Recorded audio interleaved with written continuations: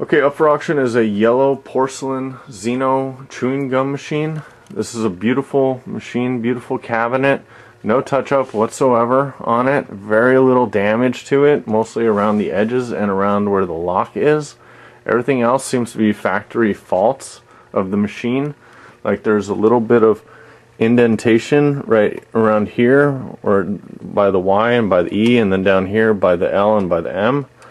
Uh, it feels like it's warped because of when they uh, spot welded on the bracket inside that holds this piece of glass in there. Feels like maybe they got it too hot, but then they just porcelained it anyway. Because it, it looks completely original, and I, I don't see how anything could have caused that kind of a damage without hurting the porcelain more.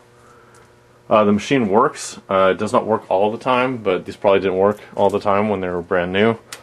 Uh, we've put several pieces of gum in there, so all you have to do is put a penny in the side. It'll activate the mechanism and uh, hopefully spit out the piece of gum. It didn't spit out the piece of gum that time, probably because the gum isn't the correct size. It's just some thin stuff that doesn't have the paper on it. I believe you need to have it paper wrapped when you put it in there. So what I'll do next is I will open up the machine and I'll show you a little bit more about it. This is a number 7 pulver lock that is in the machine. It is not an original Zeno lock. There goes the mechanism and there's the piece of gum. I guess it jammed up on the piece of gum because it's not the correct thickness.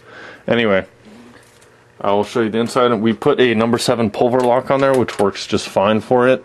Uh, as you can see there's a little bit of damage chipping around where the lock is, but that is the majority of the damage on the cabinet, other than these, you know, small chips here and there along the edge.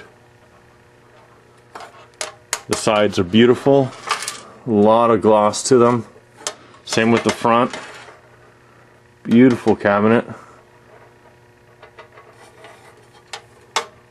There's the other side.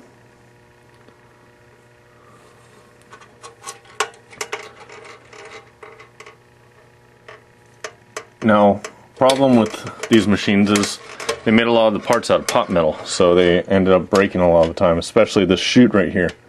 Very, very delicate piece. Now this piece is completely intact, so this is a, a rare find when you're looking for these yellow porcelain Zenos.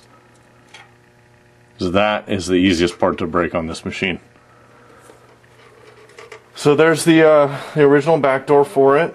Um, there's the coin drop, like I said. There's the gum chute original. There's gum inside there with a little weight on top of it.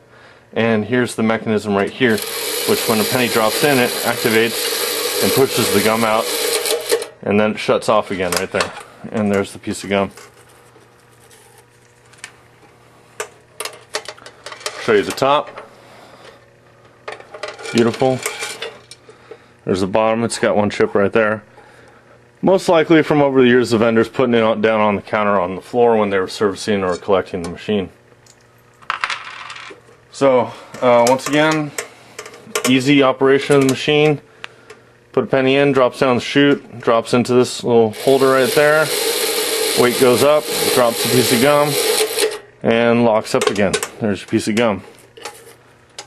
Everything is original to the machine on this except for the lock and there's a bushing right here uh, that we had to replace so. But other than that everything appears to be completely original to the machine.